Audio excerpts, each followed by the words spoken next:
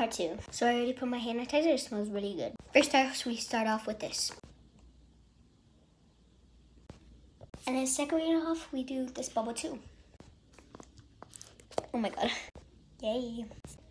It was a long day today. Some kid bullied me and hit me.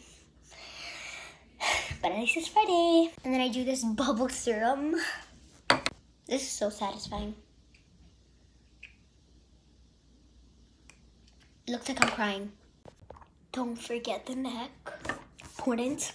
And now I got one of these from Ulta and I'm using the Bum Bum Cream. It's so gorgeous, right? It smells so good. I can't resist it. I don't put Bum Bum Cream on my chin because it just irritates my skin. And then I go ahead and wash my face with bubble and this. I couldn't film this because um go to part three.